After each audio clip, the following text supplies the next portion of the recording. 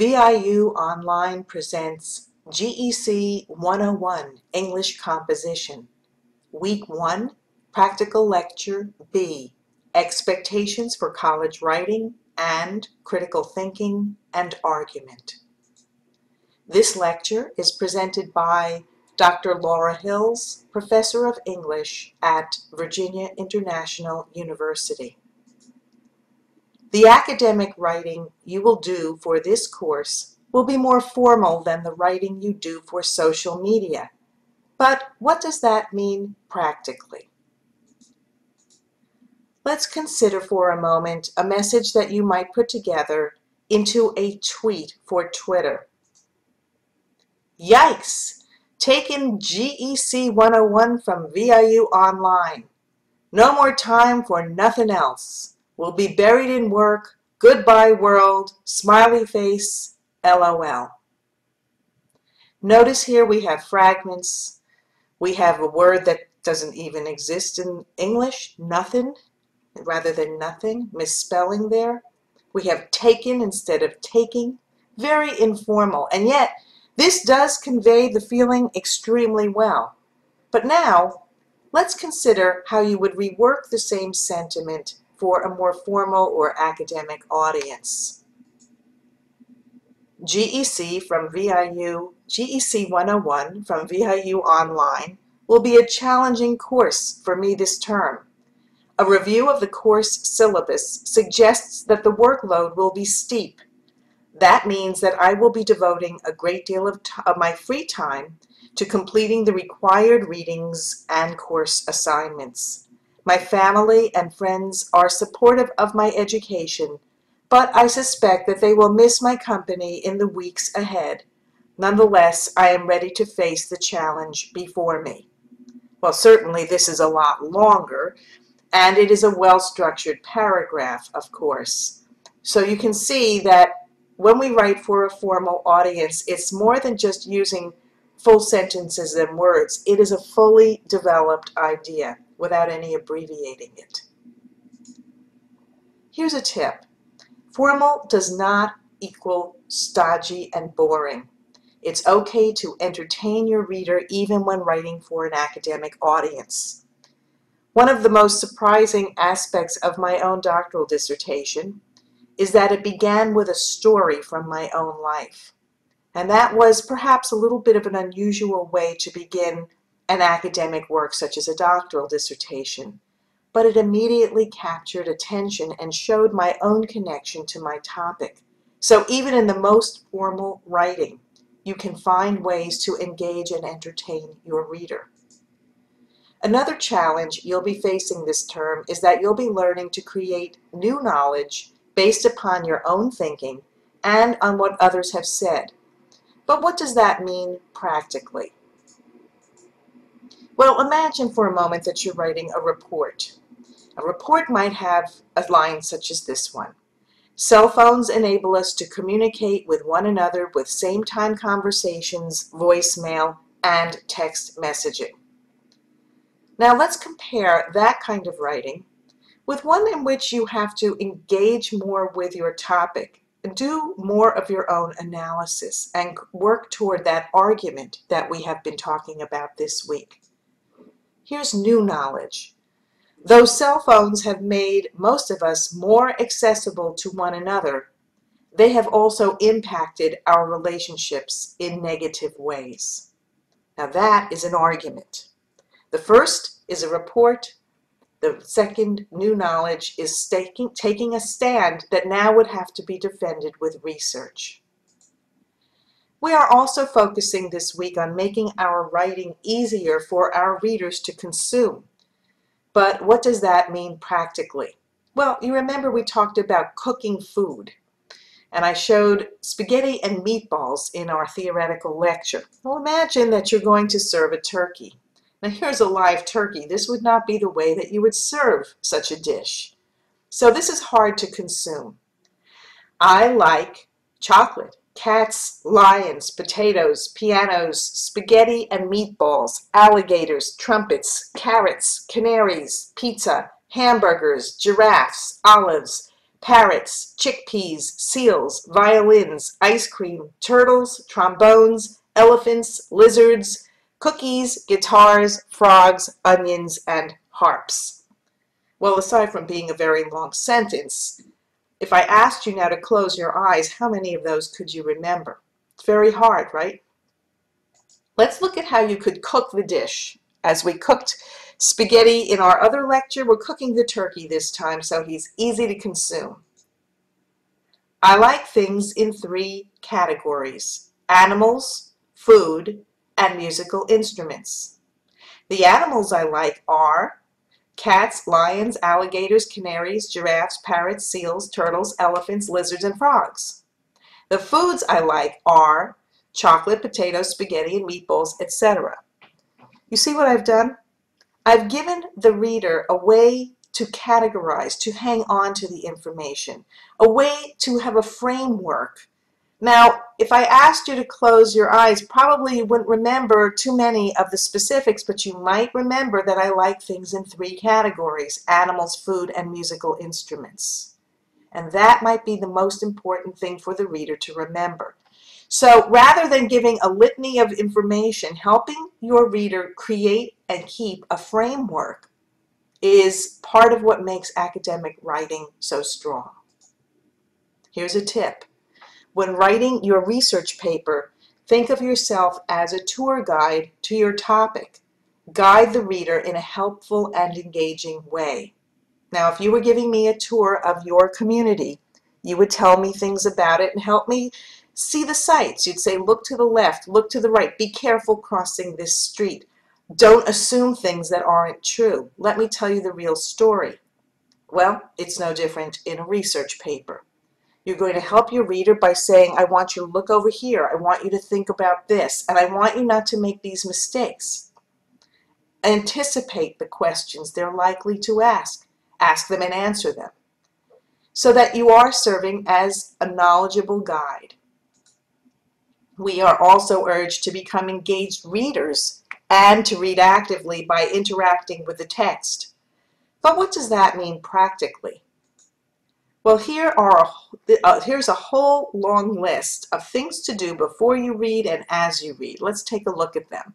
On the left side, before you read, you identify the purpose of your reading, you formulate pre-reading questions, you survey the text, which means you look through it before you read it, you connect your prior knowledge of the topic. You pose questions to answer as you read. So even before you begin, you started to do some engagement. And then as you read, you read with a pen in hand so you can jot down notes and questions. You can ask and answer questions. What's not clear to you? You can read aloud sentences and portions of text that you find challenging. You can look for signposts as you read the text. Signposts would be things like the first example or the most important point so that it's telling you how things stand out. Or, as you'll see in the following example, that's a signpost. It's telling you the connection between what you just read and what's about to come. And you can challenge the text. Do you agree with it? Do you disagree with it? And why? Here's a tip. After you read, take time to digest and savor what you've just consumed so that you don't rush on to the next activity.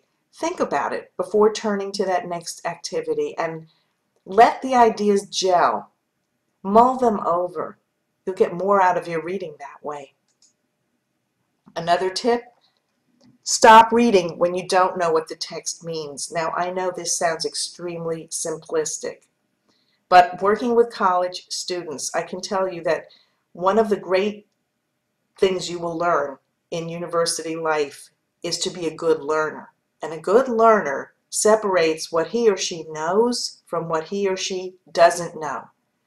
And in an effort to get the work done, many students rush through the text even when they're not fully getting what the messages are. So separate what you know from what you don't know. And remember that points of confusion can help you engage with the text. If you already knew everything, in the text, there'd really be no reason to read it. If the text isn't challenging you at some points, then it probably isn't pushing you at the right level. As a professor, we want you to reach those points of confusion, to stop, to separate what you know from what you don't know, perhaps to go back, and this is where the golden questions come from. So slow down and realize when you don't know what's going on. That's a great opportunity for learning. We learned if the writer doesn't suffer, the reader will. But what does that mean practically? Well, good writers continue to improve the text again and again until it is just right. I can't even tell you how many times I go over what I have written before I send it to a publisher. Zillions. There is no number I can put to it. Proofread the final text carefully before sharing it. And this point, the third bullet point, is an important one. Are you willing to kill your babies? That's an expression writers sometimes use. That means that they are willing to cut passages of text that took a lot of time and effort to create or that they particularly like because doing so will improve the finished work. That is a tough thing to do when you have labored over something and then realize the paper would be better without it. In that case, you've got to take it out, even though that's painful. Here's a tip. Most writers tire of their own writing. When you're reading and editing so much that you're getting sick of what you're, you've written, you're on the right track. Now, I've written and published five books and hundreds of articles. And I can tell you there hasn't been anything I've ever written that I didn't get tired of before it was all over. And that's because I polish, polish, polish. Good academic writers also narrow their topics. But what does that mean practically? Let's look at broad and narrow topics. On the left, the broad topic is whales, and on the right, the narrow topic is sleep habits of sperm whales in the Mediterranean Sea. The left, Shakespeare, the right, Cordelia's devotion in Shakespeare's King Lear. 3D printing becomes using 3D printing for rapid prototyping in industry. And the broad topic of Mozart becomes Masonic elements in Mozart's magic flute. This is where you need to do some work before beginning to write, narrowing the topic. Whales is too broad for a research paper. We have to get as narrow as possible so that we can fully argue the point and support it with research. As a peer reviewer, you're supposed to comment on the ideas being presented and the organization of the writing. You're to focus on the big picture. But what does that mean practically? Well, here's a little picture. You misspelled the word catastrophe in the second paragraph. Now that kind of remark is helpful if you want to correct spelling, but it does not make a person become a better writer. Now let's look at big picture peer review comment. You might add a paragraph or two at the beginning of your paper to explain your own experience with the topic. That would make your paper more personal and engaging for the reader. I know I'd find it more interesting if you did that. Then perhaps you can relate each part of your paper to your experience, helping us to see how you have dealt with the challenge personally. Here we're talking about the very structure of the paper in the larger sense. As a peer reviewer, remember, you're there to help with big picture thinking. The little minuscule how you misspelled a word or forgot a comma is only marginally helpful. It is not going to help the person grow as a writer, only as an editor. What you want to give is the kind of substantive comments that will help a person think in broad sense about how to improve his or her writing. A tip, when crafting an argument, consider whether to construct or deconstruct it for your reader. Now, what does this mean? Let's look at how you would construct an argument. Most people who are in the market for a new pet want one that will be loyal to them. They will also want a pet that can be trained easily and that can interact intelligently with them. Finally, most people will appreciate a pet that can be a good companion and with whom they have a lot uh, they will have a lot of fun. For these reasons, Dogs are the best choice for anyone who is looking for a new pet. You see what we did? We made three points and the conclusion, we constructed the argument and concluded with dogs are the best pet. Now let's deconstruct the same argument. Dogs are the best pet for anyone who is in the market for a new pet for three reasons. First, dogs are extremely loyal to their owners. Second, dogs are smarter than most other pets. They are relatively easy to train and are capable of interacting intelligently with their owners. Finally, dogs are wonderful companions that can be a lot of fun to play with. Do you see the difference? Here we started with the punchline, dogs are the best pet. And then we explain how we reached that conclusion. This is a basic decision for you as an author. Are you going to construct or deconstruct your argument? You can go either way you have to think about what's going to be most effective given your purpose and your reader for the paper. We are also encouraged to reflect on our own writing and learning before moving on to other projects. But what does that mean practically? Here's a list of things that you can do when thinking critically about your writing. These are questions. What did I learn about this topic by writing about it? What do I see as a weakness of my writing? What am I most worried about? What would I change about the process of exploring, planning, and drafting my paper? How did awareness of my audience help me shape my writing? Would I change anything about the research I did? What is the strength of my writing?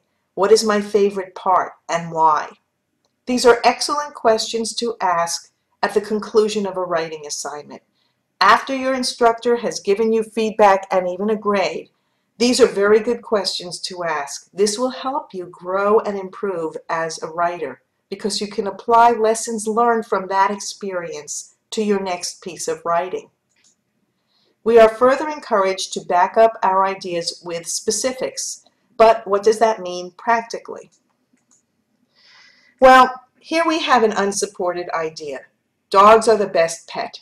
And I've given you an image of the Leaning Tower of Pisa, which we hope remains a long time, but has a questionable stability. Here's a much more stable structure, the Empire State Building in New York City, and a supported idea. Dogs are the best pet for three reasons. They are loyal, they are intelligent, and they are great companions. You see the difference. Any claim you make in a research paper must be supported. We are also considering Aristotle's idea that arguments should appeal to ethos, pathos, and or logos. But what does that mean practically? Well, if we're looking at ethos, we're, we're looking at ethics and convincing someone of the character and credibility of the persuader. So an example would be, doctors all over the world recommend this type of treatment. So this says this is a good thing because many people of good character recommend it. A pathos argument creates an emotional response. Your good health is in jeopardy and you may die prematurely if you do not follow this type of treatment. Yes, this is a scare tactic, but that is an emotional response. And finally, logos, an appeal to logic. The research is perfectly clear. 99.4% of patients who follow this type of treatment are cured. Now you can combine these into a research paper, but you see how they're very different types of argument, ethos, pathos, and logos. Be aware of this as you craft your own arguments. What do you think is going to be most effective for your reader to be persuaded that you are correct? A tip, as you work on your skills to craft arguments, you'll become more aware of the arguments that you're exposed to every day. And that is a good thing. We are bombarded with all kinds of arguments. And here, look at this, buy, buy, buy. All advertising is an argument. So as you become better at writing arguments, you're also going to become a more savvy consumer of arguments. And that will make you better at figuring out what is sensible for you to do and not do, rather than falling prey to the kinds of tactics we see in advertising. This concludes practical lecture B for week one.